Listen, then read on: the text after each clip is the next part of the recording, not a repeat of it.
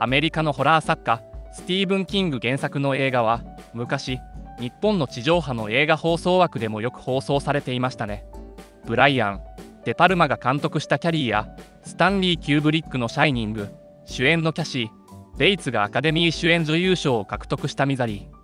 1930年代の刑務所を舞台に不思議な力で看守の病気を治してしまう死刑囚を描いたグリーンマイル。有名でヒット作が多いスティーブン・キング原作の映画の中で特に印象深い作品として1958年型の赤いプリマス・フューリーが次々と殺人を繰り返す衝撃のホラークリスティーンがあります。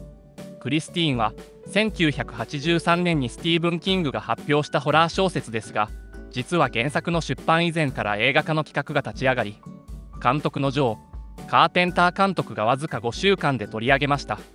原作は長編小説のためそれを2時間以内の映画に仕上げるために設定変更がなされています。原作では持ち主の怨念が取り付いた車とそれに関わる母子の愛憎劇が描かれていますが映画では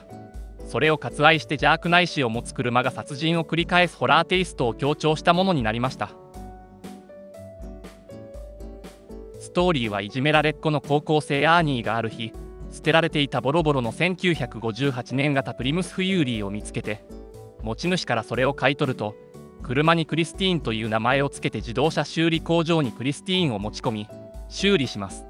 新車のようによみがえったクリスティーンに乗っているうちに粗野な人間に変わっていくアーニー不良たちに無残に壊されてしまったクリスティーンだったがすぐに元の姿に戻り不良たちを次々に殺していく。無人の車が人間を襲う映画は1977年に公開された「ザ・カー」というタイトルのホラー映画がありました。またテレビドラマの「ナイトライダー」に登場するナイト2000のプロトタイプのカールもまた人間を恐怖に陥れる存在としてドラマの中でその役割を果たしています。それらと同型のように見えるクリスティーンの見どころの一つはボコボコに破壊された車の再生シーン。無残に曲がった部品がきれいに元の形に戻りクリスティーンの美しいボディが見事によみがえる。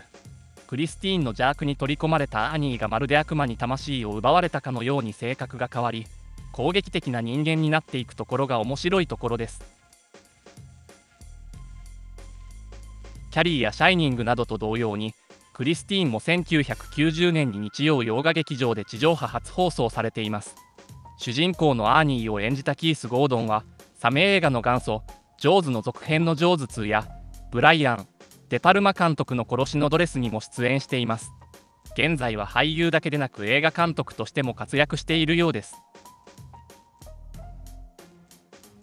クリスティーンは1958年型プリマス・フューリーという設定になっていますが当時は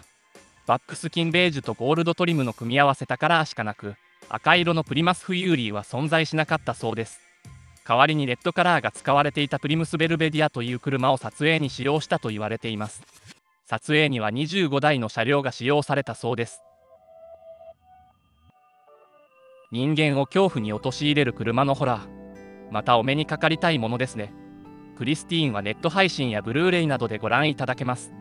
この衝撃をその目で目撃してください。